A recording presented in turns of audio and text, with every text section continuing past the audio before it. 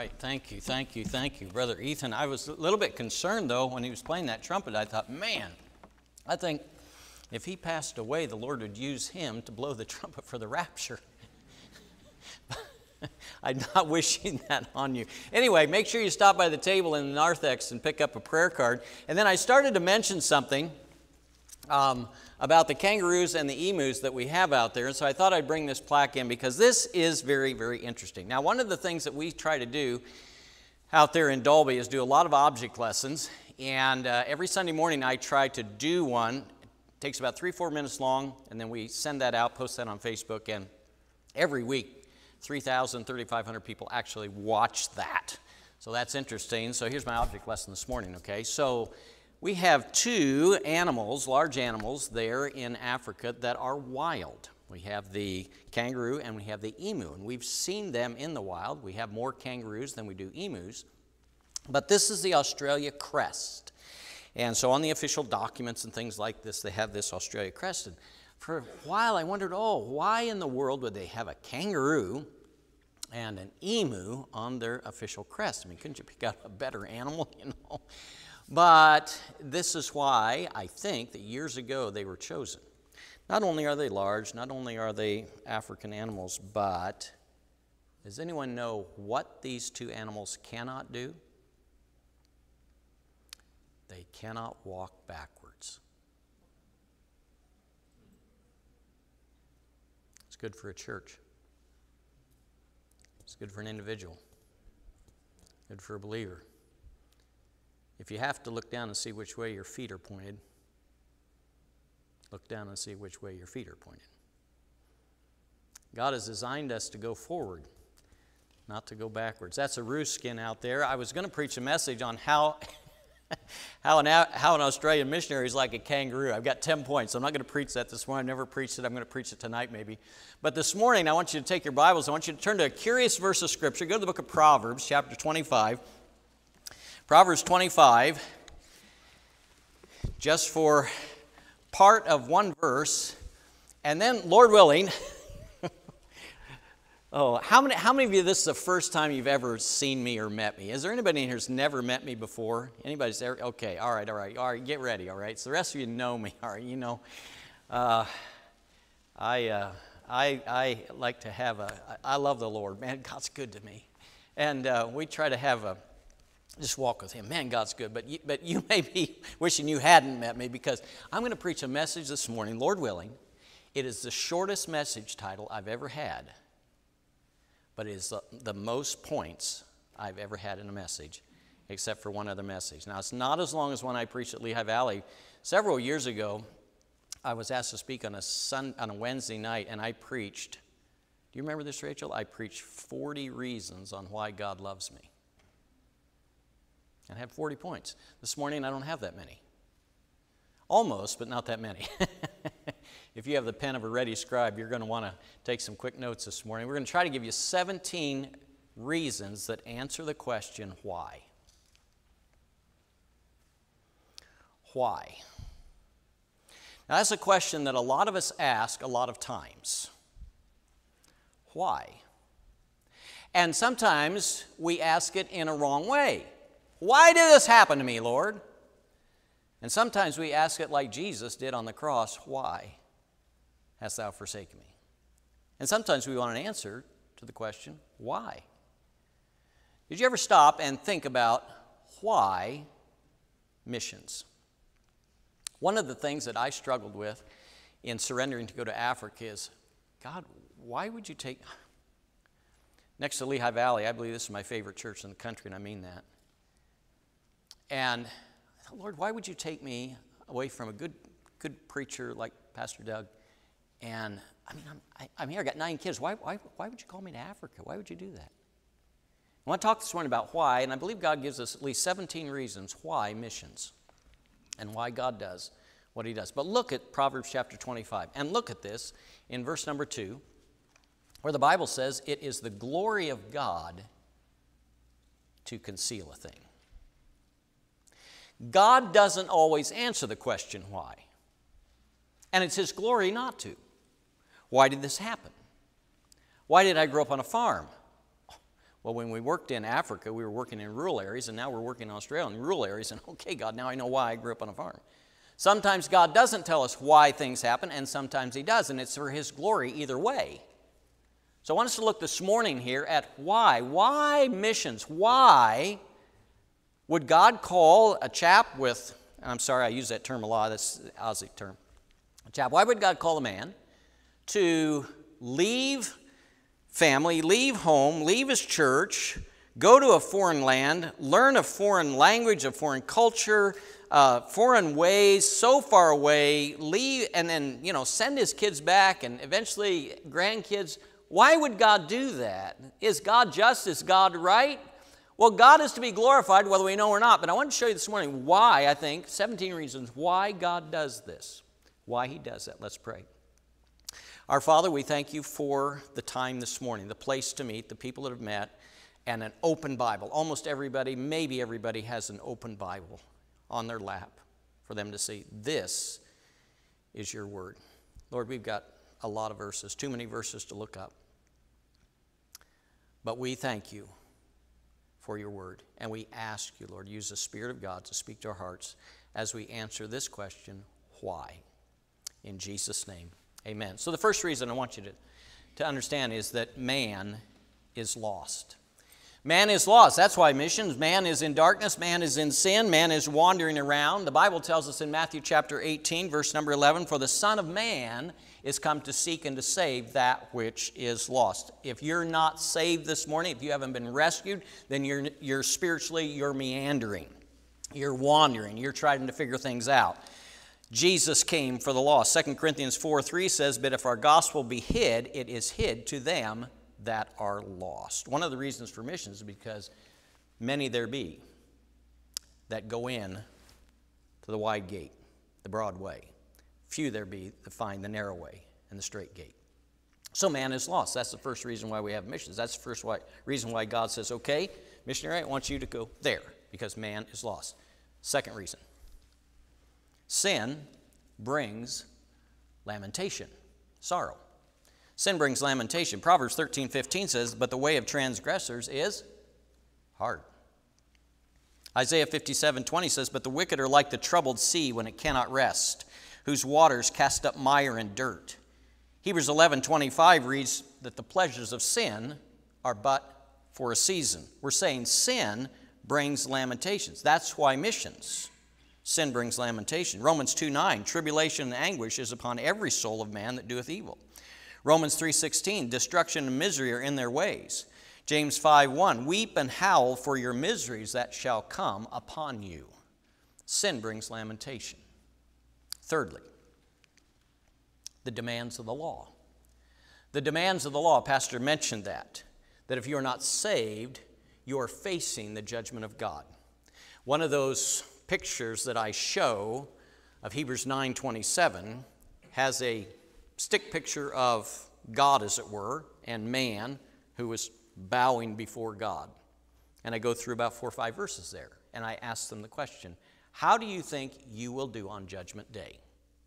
And then I launch out into the 10 commandments and the, the good person test we call it and ask them things like that, be able to witness them. See, the Bible says that in Romans 3:23 that all have sinned and come short of the glory of God. 1 John 3 tells us what sin is. Sin, whosoever committeth sin transgresseth also the law, for sin is the transgression of the law. Romans 4:15 says because the law worketh wrath. For where no law is there is no transgression. In 1 Timothy 1 9, we read, Knowing this, that the law is not made for righteous man, but for the lawless and disobedient, for the ungodly and for sinners, for unholy and profane, for murders of fathers and murders of mothers, for manslayer. See, the demands of the law say you are guilty. So, why missions? Why does God take a man and send him so far? So far, because not only is man lost, not only is sin, uh, not only does bring lamentation, but the law says you are guilty you're guilty. Number four, because of that, if a person is not saved, does not get saved, and if you're here this morning and you're not saved, the fourth point, hell is loathsome. Hell is not a happy place. Hell is not a pretty place. Hell is not a place you want to go. Hell is not a place where you think you're going to. You may go there with your friends, but you will not have friends in hell.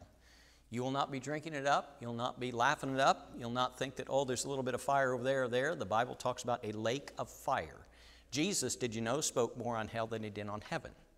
You may think there's no hell. The cults may, cults may say there's no hell, but Jesus said there is a hell. There is a hell to be shunned, there's a heaven to be gained. Hell is loathsome. In Luke chapter 16, the Bible says about this rich man, and in hell he lift up his eyes, being in torments, and seeth Abraham afar off, and Lazarus in his bosom. And he cried and said, Father Abraham, have mercy on me, and send Lazarus that he may dip the tip of his finger in water and cool my tongue, for I am tormented in this flame. Revelation 14 11 says, The smoke of their torment ascendeth up forever and ever, and they have no rest day or night. Now, I believe that we aren't far from the rapture and the uh, hence coming tribulation. But the tribulation is going to be a cakewalk compared to what hell is. In Revelation 16:10, people in the tribulation will gnaw their tongues for pain. They will blaspheme the God of heaven because of their pains and their sores. Why does a man get called to missions? Why does God send missionaries? Because hell is a loathsome place. God does not want men to go there. I was trying to talk to a man. I mentioned that I volunteered at the museum, and there was a man at the museum, had been there for some years. His name was Greg. And Greg was a hard guy, Greg was a tough guy. And Greg just wanted to argue. Whenever I brought up the subject of the Bible, he just wanted to bring up, he wanted to argue. And I didn't want to, during tea time, actually get in an interaction with him. So, but one time I gave him one of those Bushman guides, a little booklet that I showed on the picture up there. That is the only thing he ever took. He stuck it in his pocket. I hope that he read it. He had cancer when we got there six years ago, and he would get better and then worse and then better. And finally, I was told Greg's in the hospital. He's probably not going to go home. So I went to the hospital and I found him just before the doctor came in to check him out. He said, Jerry, I'm okay. Jerry, my religion is 40,000 years older than your religion. I'm not afraid. I've lived a good life. I've lived a happy life. I'm, I'm not afraid to face death. And, a couple, and they sent him home and he died at home. So they said, um, Jerry, they want you to have a little prayer at his funeral which we had in the hall there at the museum. And so that Saturday, I went up there, prepared to say a few things in case they would ask me. And sure enough, they asked me to say a few things and then have a word of prayer. And so I did. And I took those Bushman guides. I took a stack of Bush, Bushman guides up there, and there were about 20 chaps there. And I had a little sticker on it that said, In memory of Greg. And I had his, his date there that he had died. So a testimony was given, though, at that funeral after I spoke. And it was from a lady who owned the house where Greg lived. She had come up from South Australia and um, was, was tending Greg from another house or something. Anyway, she gets a call in the middle of the night. It's 11 o'clock at night. They figured that Greg died four hours later. And she said this She said, Greg called me up about 11 o'clock at night, woke me up, and he said, I'm afraid. I'm afraid. Two weeks before, Jerry, I'm okay. I'm not afraid. It's no problem. You may be sitting here this morning and say, I'm not afraid. It's no problem. And four hours before you die, I guarantee you'll be shaking in your boots. I'm afraid. I'm afraid. I'm afraid. Take care of that now. The reason why God sends missions is because hell is not a place you want to go. Hell is a loathsome place. Number five, eternity is long. Eternity is long. In Matthew 25, 41, then shall he say also unto them on the left hand, Depart from me, ye cursed, into everlasting fire, prepared for the devil and his angels. Mark 9 44, where their worm, speaking about a person who dies, their worm dies not. They have some sort of a body that the worm just eats on forever. Their worm dieth not, and the fire is not quenched. You know what it says two verses later? Where their worm dieth not, and the fire is not quenched. You know what it says two verses later? Where their worm dieth not, and the fire is not quenched. And who do you think said that? Jesus said that. Can you grasp the concept of time? Can you grasp the concept of eternity? See, the worst thing about hell is not the fire, it's probably the fact that I'm going to be here forever and ever and ever, and you don't have to. Because, oh, well, a loving God would not send people to an eternal hell. No, a loving God would put a preacher right in your face and say, You don't have to go there. That's a loving God. So God sends a missionary into the four reaches, the far corners of the earth, because eternity is long. The sixth reason why a missionary is sent is because Satan is a liar. Satan is a liar. Oh, my religion's 40,000 years older than yours. I'm not afraid. You don't have to be afraid, not fear. There's no hell. Satan is a liar. John 8 44. Ye are of your father, the devil, and the lusts of your father ye will do. He was a murderer from the beginning and abode not in the truth. In Genesis chapter 3 and before and after. Because there is no truth in him.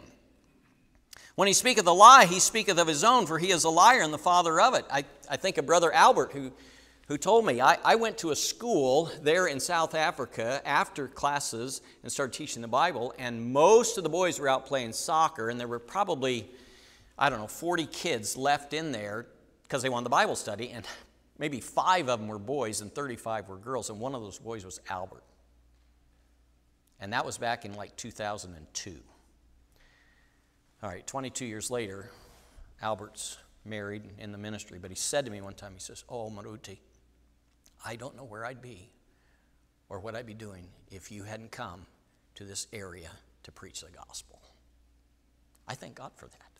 That's why God sends missionaries, because Satan is a liar. Religions around the world have their lies, their false truths, and things like that. I was telling Brother Norberg, I'm not part of the ministerium there in Dalby. Now, Dalby has a lot of churches, and the J Dubs are there, and the Mormons are there, and the Seventh day Adventists are there, and the Prezzies, and the United Church, and Catholic, and Lutheran, and they're all part of the, the um, ministerium, but I'm not.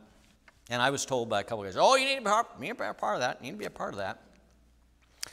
Well, I'm not going to be part of that because there's so much lying and lies and false religion and blah, blah, blah that goes on with that. I don't want to be part of that. I'm there to give them the truth because Satan is busy giving them lies. Now, where we live is called the Bible Belt. And I had a man tell me one time, Brother Jerry, starting a church in Dalby's like trying to push water up a hill with a rake. It's tough. But I believe we're there to give people the truth. Satan is a liar. Missionaries are sent to give truth. Number seven. Why does God send missionaries? Religion has leaven. Religion has leaven. It might look like it's good and oh, they talk about Jesus, but the little leaven leaveneth the whole lump. And it's no marvel. Satan himself is transformed into an angel of light. Therefore, it's no great thing if his ministers also be transformed as the ministers of righteousness, whose end shall be according to their works. Now, I have a problem when a Baptist Union pastor in an Australian town has a community wide communion service for anybody and everybody to come. I think you would have a problem with that too. So people just move around depending, oh, I like that. I, I, think I'll go over there and get a message from that. Oh, I, I think I'll go over there and I think I'll go over there and blah, blah, blah, blah, blah. There's a lot of leaven out there. And it doesn't take a lot of leaven to leaven the lump. Galatians 1 7, which is not another, but there be some that trouble you. Titus 1 10 11 says, For there are many. There's some and there's many. Many unruly and vain talkers and deceivers, especially they of the circumcision, whose mouths must be stopped, who subvert whole houses, teaching things which they ought not for filthy lucre's sake. Eighth reason why missions. The world is large. The world is large. There's 8 plus billion people and I got to wondering how many people are born and die every day. So I asked my wife um, to Google that. And it says approximately 150,000 people die every day around the world. I said, okay, now Google how many people are born every day. So she Googles that. 357,000 people are born every day. You add that up, that's a lot of people. Missionaries are sent to various parts of the world, and one of the reasons why I knew the Lord was calling us to Eastern Australia was because I, I, I don't know, maybe you don't believe this, but I, I believe this, so I'm just tell you what I believe the Bible says. I believe that the Great Commission was given to a local church. And I believe the local church ought to try to reach the world. And act like and live like and give like and go like. We got to reach this world. So when I knew the Lord was calling us to Australia, I we supported a couple of missionaries. I think I saw Brother Schroep's picture out there. Is that right? You support Brother Schroep? He's the only missionary shorter than me. I hope you noticed that. I felt like a giant around that guy. I met him in January. And he says, Brother Wilhite, I remember when you came to my church, Berean Baptist Church in Springfield, and he says, I remember what you said. Your name is Will Height. You have a lot of will and not much height. I'm glad I made an impression on it. 20 years later, he remembers something like that. Didn't remember the message I preached. Didn't talk about character. Didn't talk about good family or anything. Was, you said that. So, let me backtrack now. I was talking about Brother Schroep. Shouldn't do that. So I knew that the Lord, you know, I knew Brother Schroep was there. Our church was supporting Brother Mike Meredith. Anybody know him? I hope you don't. Anyway, he's a dear brother. Um, and there's another uh, brother Carr is over there in Western Australia. But we didn't support Lehigh Valley didn't support anybody in Eastern Australia. So I thought, well, if Lehigh Valley Valley's Mark 16, 15. Oh my, you should read my testimony. My testimony is 37 pages long. It's over 500 verses that God used to get me from point A to point B. And the last verse I read was Mark 16, 15 that impressed upon me Go ye into all the world. And I thought, if that's given to a local church, Lehigh Valley needs a presence in, in Eastern Australia. And so I knew it was Eastern. I didn't know where in Eastern Australia. And I showed you this morning how God brought us to Eastern Australia and brought us to that town and brought us to those people. And I just know beyond a shadow of a doubt that God wants us right there for this time. Why? Because that's part of the world and God cares about the world and God wants to reach the world. And God wants to send missionaries. God has sent missionaries. That's why. Because the world is large. So missionaries have to go around the world. Number nine, a ninth reason is the time is late. The time is late. Romans 13, 11, 12, and that knowing the time, that now it is high time to wake out of sleep, for now is our salvation nearer than when we believed.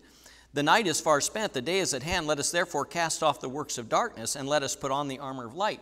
Now, I know some people say this. They say, well, see, if the scripture was inspired, then Paul would have known that the Lord was not coming for some time. But he says the time is short. Do you know why that's inspired? Do you know why God told him that? Because God wants us to know that Paul was looking for the return of the Lord in his day. And God wants us to think that the, we should look for the I rem- oh, I remember one time when I was just a boy and I came out to the kitchen. I couldn't have been seven or eight years of age. My mom had the radio on top of the refrigerator. She had it on. I don't know what program it was, Heaven and Home Hour or something, some radio program from 50, 60 years ago. And she's listening to that and she, she turned and she looked at me and she said, Jerry, the Lord has to be coming back. He has to be coming back soon. He has to be. You know what? He's 50 years closer, 60 years closer than he was. And so the time is late, and we've got to live like that. And by the way, if Paul, if Paul, now Paul tells us to follow him as he followed Christ, so Paul is some sort of an example for us to follow. And if Paul thought the Lord was coming soon, then we need to, oh, we got plenty of time. You know what we'll do? We'll just let the little kids, we'll let them grow up, and they'll be the missionaries, and we'll send them. No, the time is late. We better understand that. You know what? You might not have next Saturday to go witnessing. You might better do something earlier than that. By the way, on the back of our prayer card, if you want to pick up two prayer cards, you can, because here's what we did we have that QR code. If you give that to a friend and say, hey, you know, we had a we had a guest speaker to Australia in our church this morning, and uh, here's this picture of his wife. I want you to have that, and why don't you just take time to scan that QR code? You know what? It takes them to our church website in Emmaus, and it presents the gospel. So I've handed this out at restaurants and fuel stations. I said, hey, here's who my wife and I are. We're just traveling through from Australia. Here's who we are. I said, if you know the Lord, pray for us. If you don't know the Lord, scan that QR code. Why? Because the time's late, the time is short. That's why God sends missionaries now. Number 10, a tenth reason why missions. Missionaries are lacking missionaries are lacking. Matthew 9 37, then saith he unto his disciples, The harvest truly is plenteous, but the laborers are few. You remember that parable that Jesus told about the guy who went out in his vineyard and he hired people at this hour and this hour and this hour? And then at the 11th hour, he went out and he found people standing idle and he hired them. And he said, Go work in my vineyard. Remember that story? Matthew chapter 20. You know what we need? If we are in the 11th hour, we need 11th hour workers. Just like Jesus needed 11 hour workers, just like that man needed 11th hour workers, we need people working in this last day. Missionaries are lacking. Number 11. 11th reason for missions. You taking notes? All right, here it is. Evangelizing is labor. Evangelizing is labor, it's work. But I think labor and work is good for us. I believe that God assigned Adam a responsibility before sin ever came into this world. Now, labor is more difficult, but labor is good for us. And it is a task. I mean, Lamentations 3:27 says it's good for man to bear the yoke in his youth. And it's a task where we get to work with the Lord. Um, I know that, you know, when we do things, we have the Lord with us always, but specifically, the scriptures say in Matthew 11 29, Take my yoke upon you and learn of me, for I am meek and lowly of heart, lowly in heart, and ye shall find rest unto your souls. For, I missed the next verse, it's the next verse too he says, oh no, verse 29, learn of me. We yoke up to Christ. Man, this, this, this business of missions is where we directly get to be involved with, with God. In 1 Corinthians 3 9, Paul said, We are laborers together with God. In 2 Corinthians 6 1, we then as workers together with him. Beseech you also that you receive not the grace of God in vain. You saw some of the pictures. These people, it's obvious that God's hand is in that. And this is a thing that puzzles me. I guess it really shouldn't because Satan's blinded the minds of those who believe not, lest the light of glorious gospel of Christ should shine unto them. So it shouldn't surprise me because they're blinded. But you ever notice how, oh, I see what God's doing. And so you see how God has put you in the life of a lost person. Maybe somebody, you know, migrates in here from someplace and he's working right next to you and you say, God brought this guy here. I was just praying this morning for somebody to witness to, and this guy just got hired onto the job, and he's working right next to me.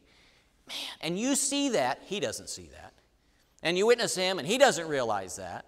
But you see that God has been working in this person's life. God is working in my life. I believe that God's working in everybody's life in some way or shape or form. Sometimes he shows us, sometimes he doesn't. Like some of these things, like all these people we know, and oh man. I mean, we were asked this question. I don't know how many times we've been asked this question. Why Dalby? That's a good question. Thank you for asking me. So I wrote a track. Why Dalby? From America through Africa to Australia. And I give my testimony and I talk about God called us right here. My neighbor, his name is Lindsay. My neighbor Lindsay. That house that I showed you, well, the first day we were there, I was outside looking at something and I sensed that somebody was behind me and I turned around and here was my neighbor Lindsay. And I gave him the gospel right that day. But over the course of the next four years, I talked to him, talked to him, talked to him. And a couple years ago, he came to me and he said, or maybe about a year ago, and he said, When I die, I want you to have my funeral. I said, What do you want me to say? He says, Oh, I'll write it down for you. I said, No, no, no. I said, Do you want me to tell people that you're in heaven or you're in hell? What do you want me to tell them? I knew him by that time pretty well. Time got closer and closer for him, and finally in December, end of December, he stopped taking dialysis treatments, and they gave him eight to ten days to pass away. And he went to hospital. We had guests that were there, and so I got up there one Monday morning about 8:30, and I presented the gospel to him again to, to share with him, you know, about about how I mean he's going to face death. And at that point, he said, Yes, I'm ready. He nodded that he was ready to, to pray and, and accept the Lord as Savior. Now, whether he did or not, you know, I, I do not know. But, you know, I said to him at one point, I said, Lindsay, do you understand that God took me from Iowa to Pennsylvania to South Africa to Australia to Dalby to that house on Burke Street to this house, right? Do you, do you think that God would put a Baptist preacher right in your path like that? Don't you think God loves you? I see that. So we see that. That's work, that's labor. But see, God's see, God has his part. I have my part. Did you ever notice this? That when it talks about the wide gate and the narrow gate and the wide road and narrow gate, did you ever notice this? It says, Few there be that find it. Few there be that find it. Now, God has his responsibility. I have no question that he's going to do that. We have our responsibility. Sometimes there's question about whether we're going to do that. But the lost person has some sort of responsibility. Few there be that find it. Seek ye the Lord while he may be found. Call upon him while he's near. If you're here this morning you're lost, don't you blame another person for not witnessing enough. Don't you blame God for not. You need to seek the Lord. You need to see this is serious business. I'm facing eternity. And you can put it off. Lindsay told me that first day that I met him, he said, Oh, he said, we got married in the Prezi church, and I haven't been in church in 50 years. But he would never commit to a Bible study. Never can. I hope he got saved on that day. I don't know. I just know there's no reason why a person needs to wait until they're four hours before death. Because you never know. You might have an accident and go out into eternity. You may not have four hours. This may be your last opportunity. So, so missions, God does this because God works together with us in mission, missions, um, evangelizing his labor. Number 12, 1 Corinthians chapter 1. I'm going to read the verse and I'm going to tell you what the point is.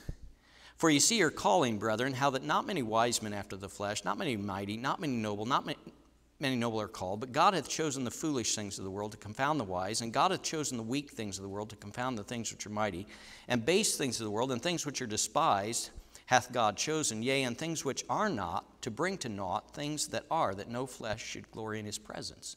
Say, what are you saying? Well, here's what I think it says God often uses the littlest and the least when it comes to missions. So it's not somebody that, you know, is, is one that, you know, makes a lot of book recommendations.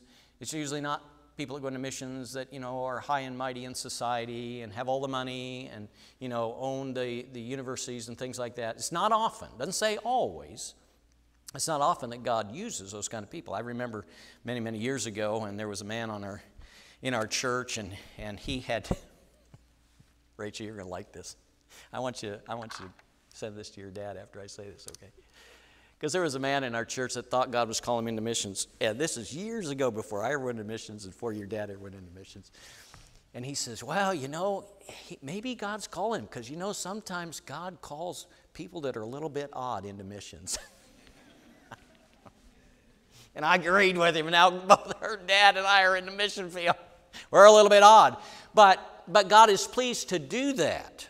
So my point is, you might be sitting here and say, oh, well, I don't have any skills, I don't have any talents, ability, blah, blah, and you're probably just a person God wants to use. And so that's why God does that, because an opportunity for him to say, I'm going to take that Tom, Dick, and Harry over there, and I'm going to take him over to this place, in a remote place, blah, blah, blah, and I'm going to use him for my glory. That's the way God works. So, God often uses the littlest and the least. Number 13 is another reason why missions, and that's because the Father is love. The Father is love. He that loveth not knoweth not God, for God is love. John 3:16, God so loved the world. Romans 5:8, God commendeth his love toward us in that while we were yet sinners Christ died for us. Galatians 2:20 I'm crucified with Christ nevertheless I live yet not I but Christ liveth in me and the life which I now live in the flesh I live by the faith of the Son of God who loved me and gave himself for me. Ephesians 2 4, but God, who is rich in mercy, for his great love wherewith he loved us. 1 John 3 16, hereby perceive we the love of God because he laid down his life for us, and we ought to lay down our lives for the brethren. And people say, well, if God if God was loving, these bad things wouldn't happen. I'm going to say you, because God is love, He let a worse thing happen to His Son to die on the cross for your sin. God is a loving God. And so, why would God take a person, put them on the mission field? Why? Because God's love. God loves that person. You may think, well, He doesn't love that person like He loves me. Look at it. No, God loves that person as much, maybe more. God loves us all. God loves us all. So, God is love. Number 14. The Father not only is love, but number 14, Christ is Lord. See, He's the boss, and He's the one that gave us the Great Commission. Matthew 23 10, Jesus said, Neither be ye called masters, for one is your master, even Christ. Christ was concerned about souls. You can't read the message of the Lord Jesus Christ, whether he's with a crowd or whether, whether he's with a smaller group or whether he's with an individual. Look, just that's a study in itself, just the individuals that Jesus worked with. God loves them. Why missions? Because God loves them because Christ is Lord. He's the one who gave us a great commission. The disciple is not above his master nor the servant above his Lord. It was he who gave us a great commission. It was he who sent the Holy Spirit to empower his church to fulfill the great commission. Number 15. A 15th reason is because the Spirit, who is God, the Spirit gives light. The Spirit gives light. See, no conviction, no conversion. John 16, 7 and 8 Nevertheless, I tell you the truth, it is expedient or necessary for you that I go, go away. For if I go not away, Jesus says, the Comforter will not come unto you, but if I depart, I will send him unto you. And when he has come, he will reprove the world of sin and righteousness and judgment. So the Spirit of God is the one who regenerates people out there in the field. So God, in the Holy Spirit, sends men to take the Holy Spirit, to be used of the Holy Spirit, to preach through the power of the Holy Spirit so people can be saved by the Holy Spirit. It's important for spirit controlled missionaries to take a spirit composed book into the world to have spirit convicted men become spirit converted men. Number 16. A reason why missions is because it's the gospel that gives liberty. A pure gospel is needed to free men from bondage and the burden of sin. We cited this early in John 8:32, you shall know the truth and the truth shall make you free. Jesus said, If the Son therefore shall make you free, you shall be free indeed. Stand fast therefore in the liberty wherewith Christ hath made us free. So Christ often liberated folks from the bondage and enslavement of demons, demons and sin. And so why missions? Because people are enslaved. People are in sin. I mean, the problems that I showed you up there, all the fractured families, dysfunctional homes, well, God cares about that. God cares about people. The people are enslaved in the sins of you know, fornication and homosexuality and things like this, God cares about them. So God says, I want you to go give them a life liberating message that can free them from that. That's why He calls men into missions. And lastly, I would say the reasons why we have missions is because heaven is lovely. Heaven is lovely.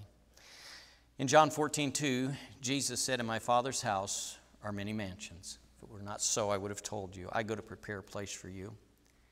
Revelation 21, listen to these selected verses. And he carried me away in the Spirit to a great and high mountain and showed me that great city, the holy Jerusalem. Now get this, descending out of heaven.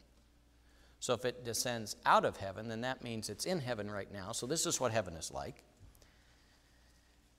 Having the glory of God, and her light was like a stone most precious even like a jasper stone, clear as crystal. And the building of the wall of it was jasper, and the city was pure gold, like unto clear crystal. And the foundations of the wall of the city were garnished with all manner of precious stones. And the city that had no need of the sun, neither of the moon to shine in it, for the glory of God did lighten it, and the Lamb is the light thereof, and the nations of them which are saved shall walk in the light of it.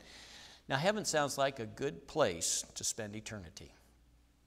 And God is not willing that any should perish, but that all should come to repentance. So, why missions? Why does he send a missionary? Why does he pick a chap up and he takes him from point A to point B? Why that? Because heaven is a lovely place, and all these other places, you see, all these other reasons.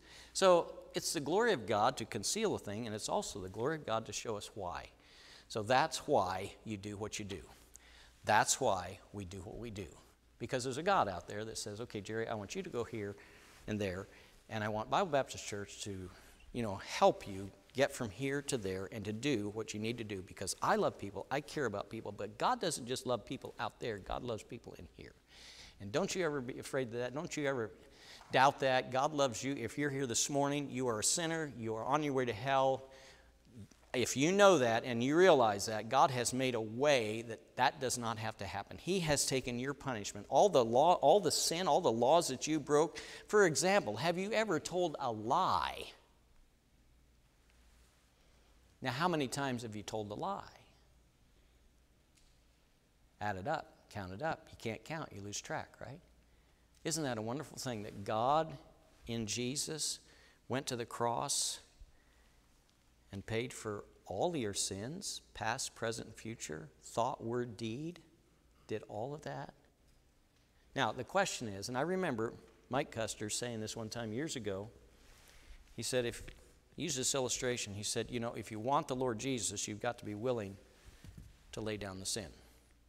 In other words, if you want to coddle your sin, you really don't want to be saved your sin. You want Jesus, you know. So, so I got my sin here and I got my Jesus here. No, that's not the idea because the Lord Jesus Christ comes in and He is the boss. He is the Lord. He wants to take your life. I tell people this I say, accepting Christ as your Savior is like inviting somebody in and saying, Make yourself at home. And so when you invite Christ in, you see yourself as a sinner, you know that He died for you, you know that He was resurrected three days later, and He lives for you, He intercedes, He wants you, He stands with open arms. When you invite Him into your life, don't be surprised if He rearranges the furniture. Well, I just want him to save my soul from hell. No, no, no. The Jesus of the Bible is Jesus Christ our Lord. So don't get the wrong Jesus. Don't get the wrong idea about Jesus. He, so if you are at that point, you say, you know, I don't know, dear friend, but it may be this morning that you say, I know, I know, I know I have sinned, and I understand that Christ died for me. And I want him as my. Would you bow the knee to him? Would you humble yourself before him? God gives grace to the humble, it says, and we're saved by grace. So you're, oh, well, I don't. No, you're not ready to be saved that's your attitude. But you can be saved this morning if you're not saved. And if you are saved, you know what? You go out those doors, that's a mission field out there. God has a business, not just in reaching people in Australia, but God has a business in reaching people here. And I trust and challenge you this morning to be the missionary that God wants you to be where you are. Let's pray. Our Father, we thank you this morning that you show us you're not concealing it. There are many, many reasons why we're involved in missions. There's many, many reasons why there's faith promise in this church. There's many, many reasons why these flags are, are there's many, many reasons why we are here today. Many, many reasons why this church uh, supports and sends men like Brother Brower and, and uh, Brother Norberg. And Lord, we thank you that you care about souls. Now, may we care about souls. May we have a heartbeat for souls like you have. Lord, thank you for showing us the reason why and not concealing it. I think, Lord, sometimes you conceal things because you don't want us to know it because we wouldn't be ready to, to deal with it. But Lord, when you clearly show us many times in many places many things about why missions, why we're supposed to evangelize, why we're supposed to reach out, I think we're pretty accountable for that. God, help us to do something about that. Help us to bow the knee. Help us to shed a tear. Help us to be burdened enough to talk to a neighbor or a family member or a colleague or someone we work next to. Oh, God, help us to have that burden. Help us to know that Jesus is coming soon. We need to be busy in the harvest field. Even if it's the 11th hour, you welcome 11th hour workers. In Jesus' name we pray. Amen. Okay, Pastor.